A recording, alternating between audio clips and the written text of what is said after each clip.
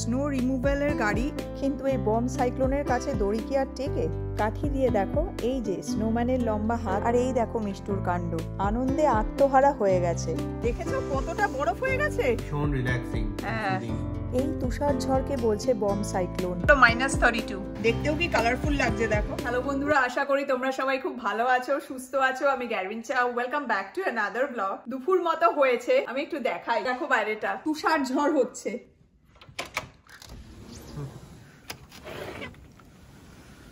প্রচণ্ড ঠান্ডা এখন মাইনাস ফোরটিন মনে হয়। জানি না আওয়াজ শোনা যাচ্ছে কিনা কিন্তু এটা ভীষণই আজকে। একুশ হবে রাত্রিবেলা ভীষণই জোরে হচ্ছে। ক্যামেরাতে কতটা ধরা পড়ছে বা ধরা পড়বে আমি জানি না কিন্তু দেখো চারিদিকটা বারান্দায় তো কাভার টাওয়ারগুলো পুরো ভর্তি হয়ে গেছে দোলনাটা সাদা হয়ে গেছে এদিকে সোফা টোফাগুলোও ভর্তি হয়ে গেছে এটা খুবই জোরে হচ্ছে আর হাওয়ার আওয়াজটা শোনা যাচ্ছে কি আমি ঠিক জানি না, কিন্তু গাছগুলো দেখো, গাছগুলো হাওয়ায় প্রচণ্ড নড়ছে।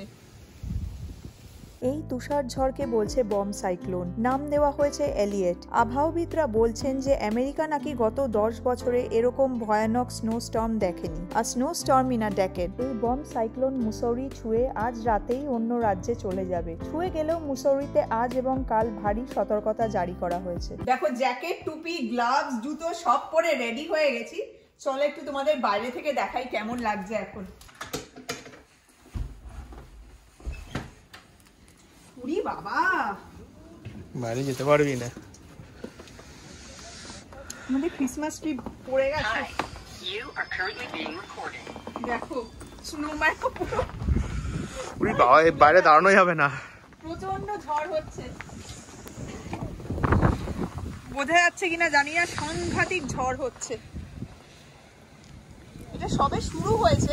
শুরু এখনও। পাতলা স্নোটা কিন্তু এটা নাকি সারা রাত্রির হওয়ার কথা। বেশিরভাগ গাড়ি সব বাইরে।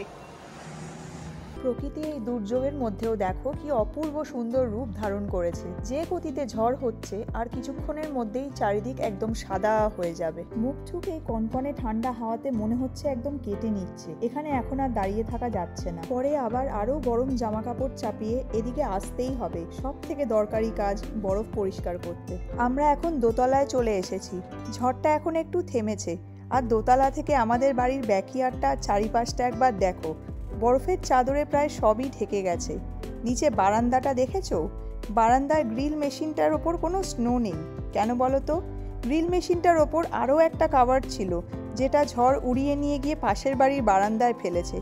এখন কাভারটা ওদের ওখানেই আছে। চলো, ঝড়টা যখন একটু থেমেছে, তখন আর সময় নষ্ট না করে বারান্দায় গিয়ে স্নোটা একটু উপভোগ করি। মিষ্টুও অনেকক্ষণ ধরে বাইরে যাবে বলে পাগল করে দিচ্ছে। স্নো যে আমরা তিনজনেই ভীষণ ভালোবাসি। স্নোফল থামলেও এখনও হাওয়া দিচ্ছে প্রচণ্ড। দিক গিয়ে, এর থেকে আর ভালো ওয়েদার পাবো না। স্নো নিয়ে স্নোতে খেলার। এত সুন্দর বরফটা, ইস, পা দিয়ে ঘেটে দিলাম আমরা। পা না দিলে দেখতে দারুণ লাগতো, সেটা ঠিকই, কিন্তু মনটা তো তাহলে ভরতো না। আর তোমাদের সাথে এই সুন্দর মুহূর্তগুলো ভাগ না করতে পারলে আমাদের ওই আনন্দটা সম্পূর্ণ হতো না। হ্যাঁ দেখেছ? কতটা বরফ হয়ে গেছে? চার ইঞ্চ মতো হবে বলেই দিয়েছে। পুরো মনে হচ্ছে বরফের বিছানা দেখো। এইটার উপর শুয়ে পড়তে পারব? হ্যাঁ। না না না মিষ্টু। ওইটাই বাকি আছে। দেখো মিষ্টুকে একবার আনন্দে আত্মহারা হয়ে গেছে। বরফ দেখলে আমিও সব ভুলে যেন শিশু হয়ে যাই। এত আনন্দ হচ্ছে যে ভাষায় প্রকাশ করতে পারব না। বিদ্যুৎ মিষ্টুকে ছুড়বে বলে একটা স্নোবল বানাবার চেষ্টা করছে কিন্তু বরফটা দেখো এতটাই ঝুরঝুরে যে বল কেন? কোনো শেপই হচ্ছে না। শুরু হয়ে গেল বাবা মেয়ের বরফ ছোড়াছুড়ি। বরফ পেলে এভাবেই আমরা তিনজনে সব ভুলে আনন্দে মেতে উঠি। বাবা মিষ্টু করে জমিয়ে রেখেছে বারোটা বলে। যেটার কি অবস্থা? দেখলে বুঝতে পারবে। মানে হাওয়ার আওয়াজ আসছে। বাবা রে গাল ফালগুলো কেটে নিচ্ছে রে। আনন্দটা এতটা পরিমাণেই হচ্ছে যে এখন আর এই প্রচণ্ড ঠান্ডাটা গায়ে লেগেও যেন আর লাগছে না। এই চেয়ারটার কাভারটা একবার দেখো। মনে হচ্ছে কেউ এক বস্তা নুন ঢেলে দিয়েছে। ঝুরঝুরে তুলতুলে ধবধবে সাদা বরফ।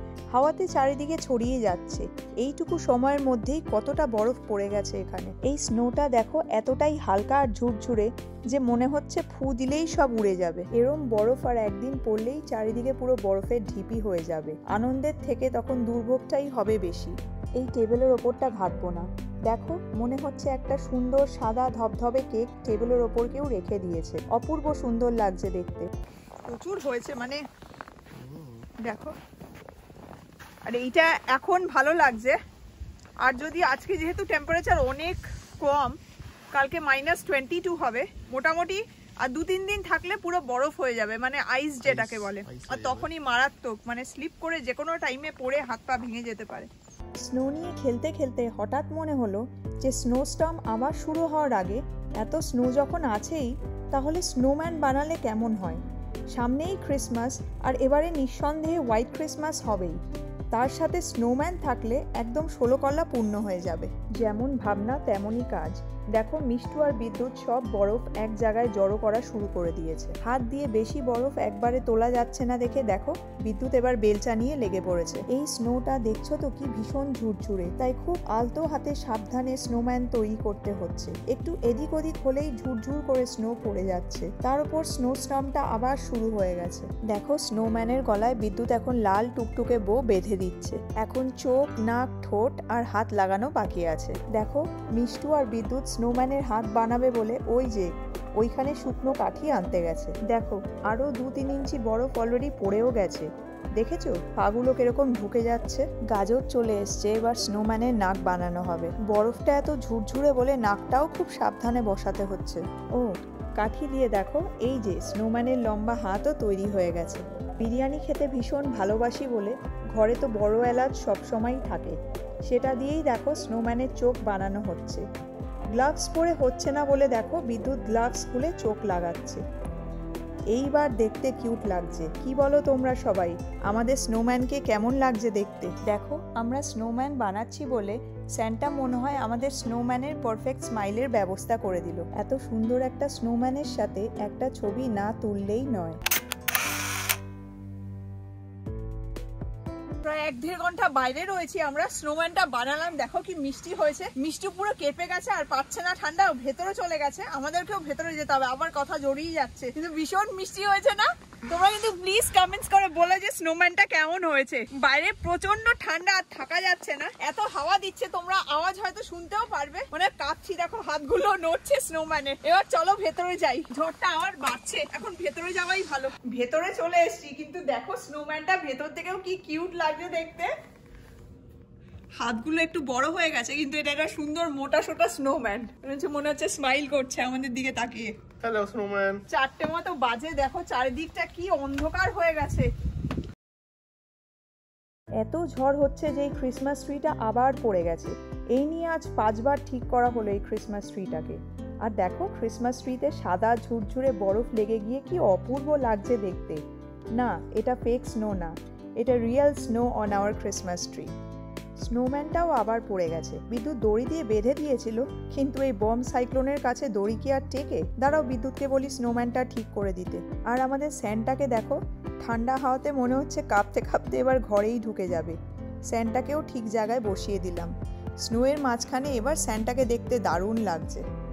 বিদ্যুৎ স্নোম্যানকে তুলে আবার ঠিকঠাক করে দিচ্ছে। স্নোম্যানও যে আজ কতবার পড়ে গেল? দেখো স্নোম্যানের টুপির ভেতর কত বরফ ঢুকে গেছে, বিদ্যুৎ সব বরফগুলোকে ঝাড়ছে। এবার এটা প্রকৃত অর্থে স্নোম্যান হয়ে গেছে। বিদ্যুৎ স্নোম্যানের নাকটাকে ভালো করে চেপে দিচ্ছে। আগেরবার জানো স্নোম্যান চিটপটাং হয়ে পড়ে গিয়ে নাকটা খুলে বাইরে পড়ে গেছিল। যাক বাবা স্নোম্যানকে আবার ঠিকঠাকভাবে দাঁড় করানো গেছে। আর চারিপাশটা একবার দেখো, অল্প স্নো হলেও চারিদিকটা একদম ধপধপে সাদা হয়ে গেছে। অপূর্ব সুন্দর লাগছে দেখতে, চোখ সরানো যাচ্ছে না। আর স্নোয়ের কথা বলতে বলতেই দেখো স্নো রিমুভালের গাড়ি রাস্তার স্নো ক্লিন করছে। এই স্নোফলের সময় রাস্তাঘাটে এদের সর্বত্র দেখা যায়। এই সময় এদের ডিউটি প্রায় চব্বিশ ঘন্টাই থাকে। অন্ধকার হয়ে আসছে, এবার আমরাও আমাদের বাড়ির সামনে স্নোটা একটু ক্লিন করে নিই। খুব অল্পই আছে, তাই খুব একটা কষ্ট হবে না পরিষ্কার করতে। আজ ক্লিন না করলে কাল এটা আইস হয়ে যাবে। দেখো বিদ্যুৎ বেলচাটা বের করে নিল। এটা দিয়েই মেনলি আমরা সবসময় বরফ পরিষ্কার করি।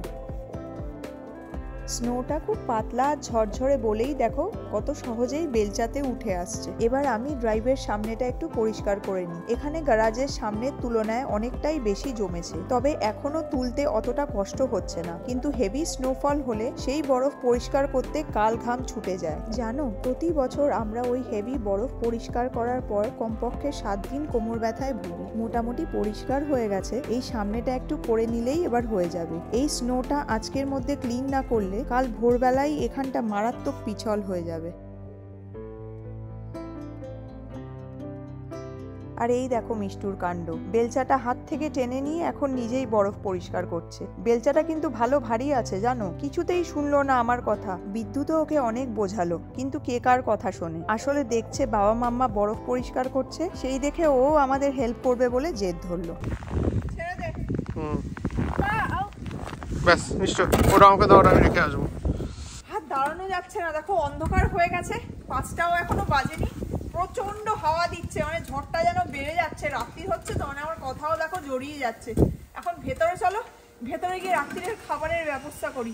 ভেতরে এসে এক ঘণ্টা ফায়ার প্লেসটা জ্বালিয়ে বসেছিলাম, এত ঠান্ডা লাগছিল, বাইরে অত লাগছিল না, কিন্তু ওই হাওয়াটা যখন দিচ্ছিল আর বরফগুলো এসে ছিটছিল মুখে, তখন কাঁপুনি লাগছিল। তারপর এসে অনেকক্ষণ বসেছিলাম। এখন দেখো পৌনে সাতটা মতো বাজে। এখন ভাবছি যে একটুখানি চিকেন স্টু বানিয়ে নিই। রাত্রিবেলা ভালোও লাগবে একটু ভেজিটেবলস দিয়ে। তো সেটাই এখন করব। সেটার জন্য কড়াইতে আমি তেল দিয়ে দিয়েছি। তেলটা প্রায় গরম হয়ে গেছে। এবার আমি এর মধ্যে সবজিগুলো দেখো কেটে নিয়েছি এখানে। পেঁয়াজ আছে গাজর আছে ছাঁচি পেঁয়াজ আছে আর এখানে বেল পেপার আছে কাঁচা লঙ্কা আছে। তো পেঁয়াজটা আমি আগে ভেজে নেব। প্রচণ্ড ঠান্ডা লাগছিল দেখো এখন আমি মোটা জামাটাই পরে আছি। এমনি টেম্পারেচার কুড়ি বাট উইনচিল যেটা সেটা মানে ছিল তিরিশ মাইনাস 30 বুঝতে পারছ? কত ঠান্ডা আজকে। কথা বলতে বলতে ভুলেই গেছি। আগে ফোড়নটা দেওয়া দরকার ছিল। দেখো, এখানে আমি নিয়ে নিয়েছি গরম মশলা ফোড়ন। তার মধ্যে শুকনো লঙ্কা আছে, তেজপাতা, দারচিনি, এলাচ। এটা হলো তোমার গোলমরিচ আর এটা হলো লবঙ্গ। এটা মাঝখানে একটু জায়গা করে দিয়ে দেবো। সাথে পেঁয়াজটা ভাজা হবে। নুন দিয়ে দিচ্ছি, এর মধ্যে এক চামচ মতো।